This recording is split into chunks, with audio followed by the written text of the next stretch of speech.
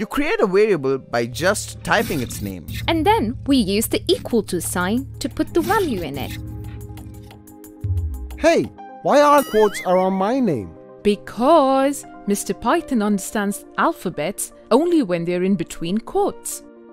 No need to dwell much, we'll discuss that later. Okay, so I guess Theo is stored in the variable name now.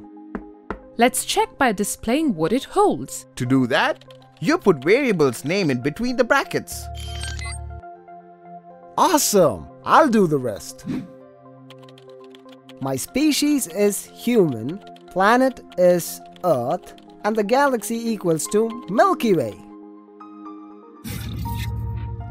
Stuck somewhere? I remember seeing lines in the message. So, Is it possible to display them too?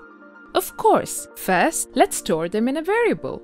Okay, what should I name it? well, what's the purpose of lines in the message? Uh, they separate a different piece of information about me. So let's name it separator. Makes sense.